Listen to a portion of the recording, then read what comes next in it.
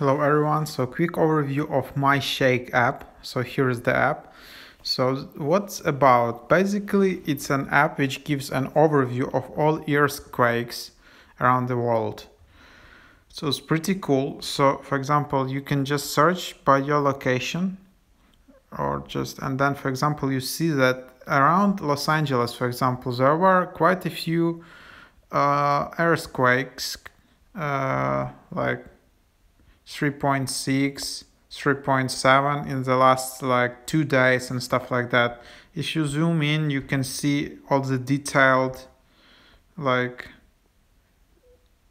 locations and all the reports from here.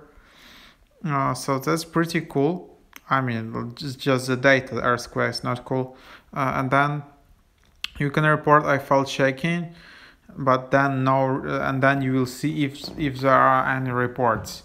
You can also filter out you can time range you can minimum magnitude do that. You can just do list and then you will see all the recent earthquakes uh, around the world. Uh, nearby so that's that. Uh, so yeah you can see all the data. You can see uh, data you can also you can become a contributor yourself so you can submit these reports you can uh, see your log. For example then there are notifications so pretty cool as well. I mean you can just tap edit you can uh, set recent earthquake events select for which magnitude and then uh, receive a notification. If uh, yeah, if there is some earthquake in around the area. Uh, so for example, here in California, you will do that for magnitude 4.5 and if the uh, uh, location is enabled on iPhone, then you will you can receive alerts. Then more sections, there is also this sensor, pretty cool.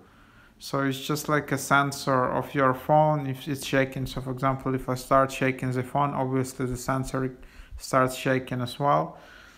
So you can see kind of uh, the acceleration uh, here. And then there is safety checks. And then there is settings. You can set your distance unit location sharing here. Okay uh, help. And then so that's that's kind of it. So this is the app basically and you can see all all of overview here for example in Europe. Or you can see stuff like that. So that's just like the combination of all data in this one app so it can be pretty helpful